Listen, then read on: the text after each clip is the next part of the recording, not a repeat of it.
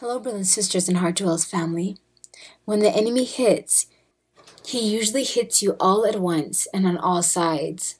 I've shared with you guys how I've been dealing with some fires all around me personal, interrelational, and then a similar situation happened in the community, which just left me angry, disappointed, and hurting, adding on to the burden I was under. After prayer, Jesus immediately began. Your heart is a storm tossed ocean, my beloved little one. I need you to be still and know that I am God. I am in control and have you in all situations in the palm of my hands. You are under attack, and so is this little flock of yours. I want you to be more sensitive to the inspirations, instructions, and counsels I give to others to be given to you. Do not dismiss them or any dream or word shared with you, because you all are one body in this family, each person has different gifts I've brought to this group, and it's always a part of the bigger picture. There are things you will not catch or blind spots you don't see that I will reveal to your children and those around you, not only to humble you, but also for you all to work in union together. You need each other, all of you. Although you are scattered in different parts of the world, you all need each other. Yeah, family. One of the priests reached out to me about two weeks ago and said the Lord gave her word that our faith was going to be tested in some ways, and the antidote would be humility and brotherly love. When she told me these things, our group was running smoothly, so I didn't take it as serious. But now some of us are in the fire with various situations, and I realized the word she had was right, and I should have heeded the Lord's forewarning through her. Jesus continued, Check up on them individually often, and I want the group to check up on one another. Be open to one another. Hide nothing. I've brought you here because this is a family you can trust. It is not perfect, but brotherly love reigns in the center of this family. Why? Because I am the center of this family, and in all that they do. Do not fear loving or fear receiving love, my little one. I want to talk to my brides about this very thing wounds incurred by the church, or as you call it, church hurt. There have been many of you who have been hurt by the church institutions and by Christians whom you called friends. You went into a congregation having expectations of finally being loved, understood, supported, and built up. But rather you found infighting, gossip, judging, criticizing, posturing in politics. You were scorned by those who didn't understand you, and you were ruthlessly judged and rejected for your weaknesses and failures, which further made you close off and not open to anyone. You looked around thinking, who can I really trust? Share my little one about your experience in the community. Well, a situation arose here in the community with a soul whom I went to for counsel I shared my burdens with them and even apologized for my attitude because of the burdens I was feeling.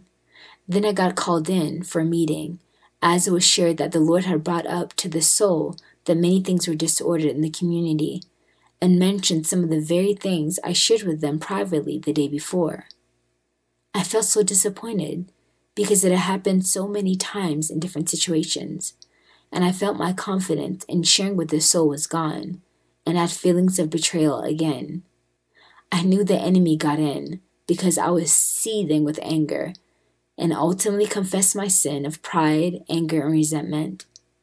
It made me want to shut down, not open my heart anymore, or put a guard up again. I know that's not what the Lord wanted.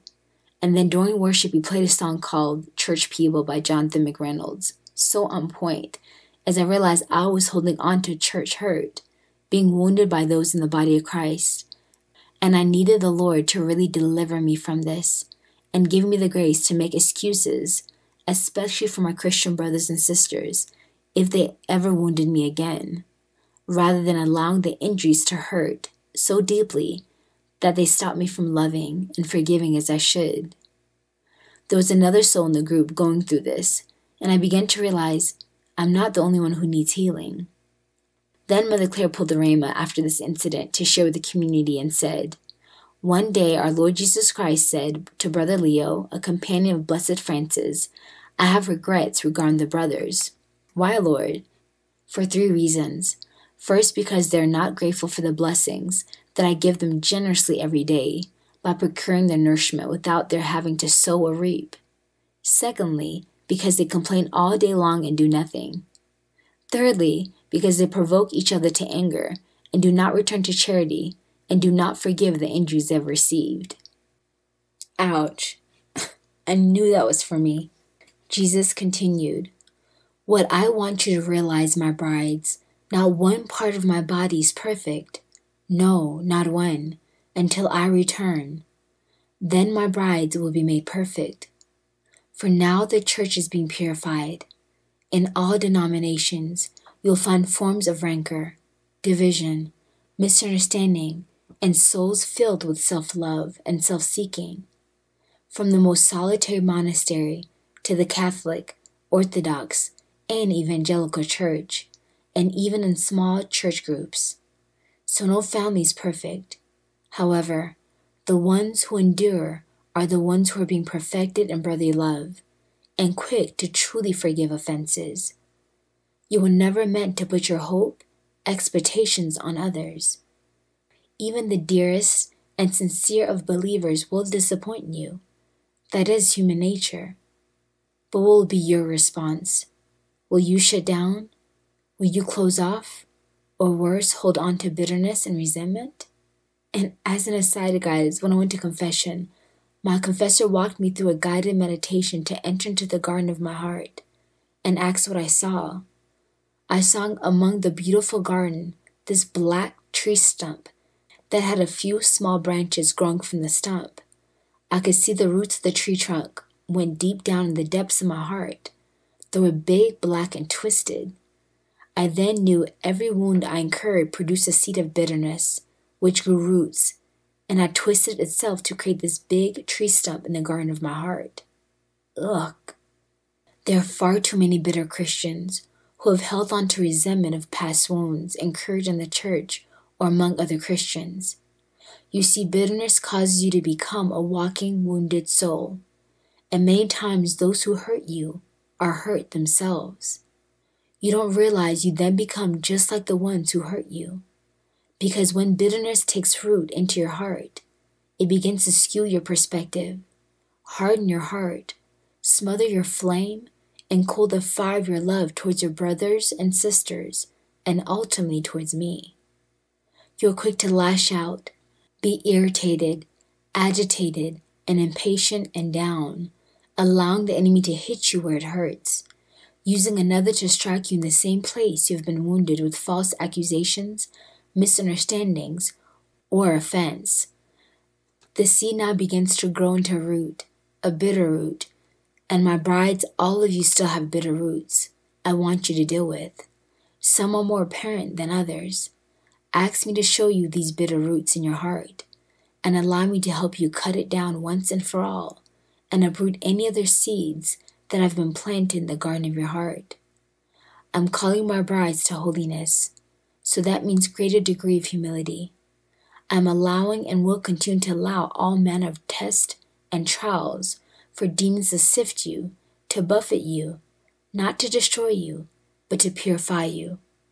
For it is in the wounding that I can come in and do a deep healing.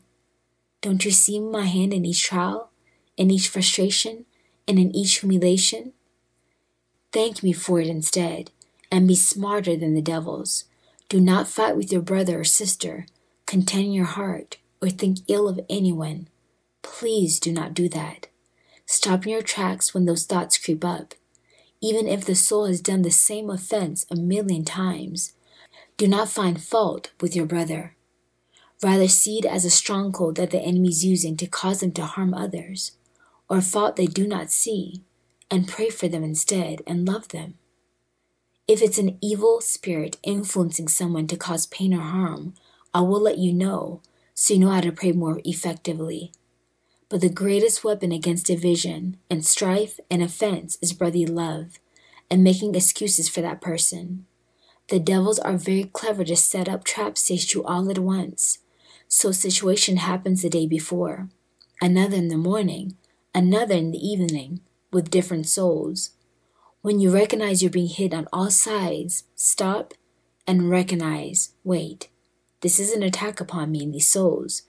Refuse to come in agreement with Satan's lies, renounce his influence over them and you, and declare your love and commitment to me and them despite the offense. Ask me to heal your heart and theirs as well. He will lose every time.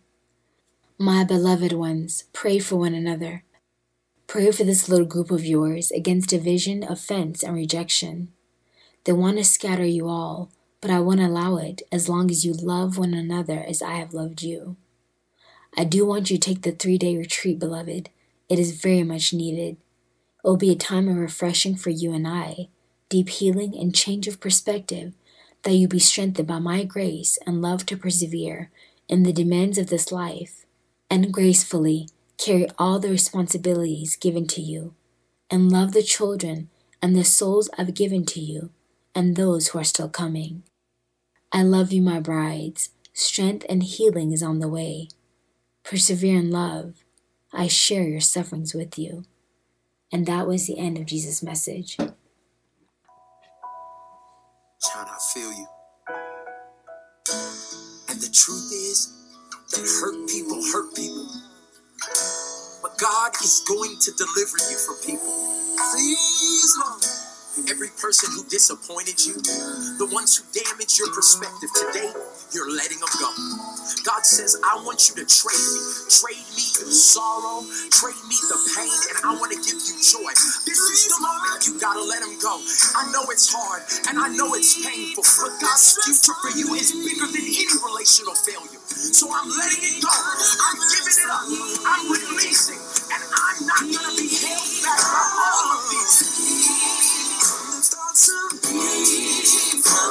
Pressures of I'm calling me free from my God.